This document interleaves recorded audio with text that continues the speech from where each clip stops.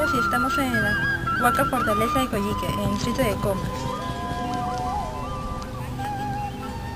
Se trata de un monumento excepcional por la complejidad de su trama espacial, que incluye estructuras de piedra de diferentes tipos, así como amplias plazas, almacenes circulares, áreas residenciales delimitadas por murallas que le dan aspecto fortificado. Cronológicamente se ubica en el periodo intermedio tardío y registra una fuerte presencia inca, a juzgar por los materiales culturales de esta época dispersos en su superficie.